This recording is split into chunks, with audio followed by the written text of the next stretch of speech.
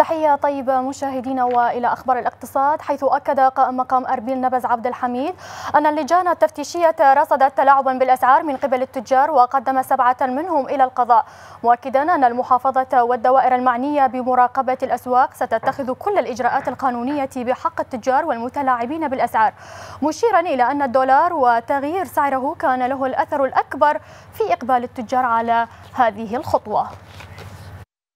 لا نستطيع أن ننكر أن الارتفاع جاء نتيجة رفع سعر الدولار أمام الدينار العراقي وهذا الأمر أو الموضوع يشمل كل العراق آه، وليس فقط مدينة دربيل أو محافظة دربيل.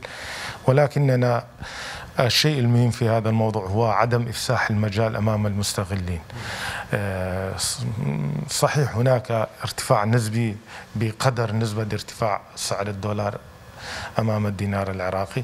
ولكن هناك حالات آه، بسيطة أو شاذة نستطيع أن نقول.